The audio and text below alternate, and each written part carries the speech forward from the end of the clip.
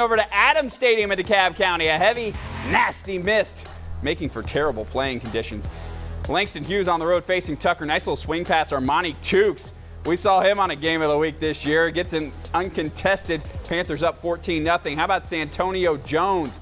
Going to make the highlights with this nice interception of Corey Pendergrass and Hughes in business. Good field position there. Now you get to watch Panthers quarterback Xavier Smith go to work.